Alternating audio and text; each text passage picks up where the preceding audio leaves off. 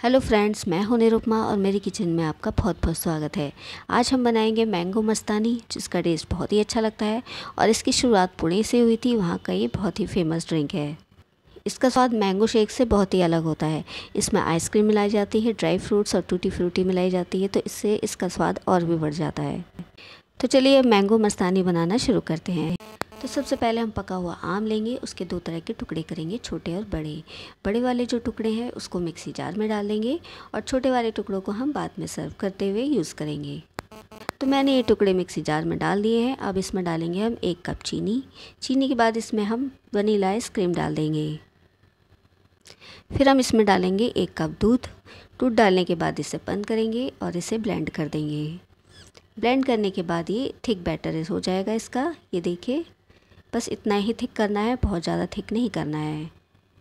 अब एक बड़ा गिलास लेंगे, उसमें छोटे वाले टुकड़े डालेंगे।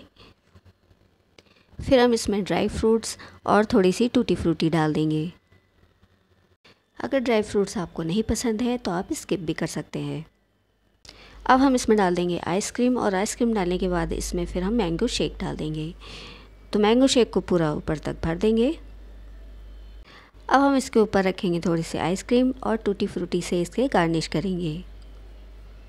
और अब हमारी ये बहुत ही डिलीशियस मैंगो मस्तानी बिल्कुल तैयार है। आप इसे घर पर बहुत ही आसानी से तैयार कर सकते हैं। तो बाहर जाने की ज़रूरत नहीं है, आप इसे घर में तैयार करें और गर्मियों का मज़ा लें। इसे आप घर पर ज़रूर बनाएँ और मेरी रेसिपी आपको पसंद आती है तो मेरे वीडियो को लाइक करें और सब्सक्राइब करना ना भूलें।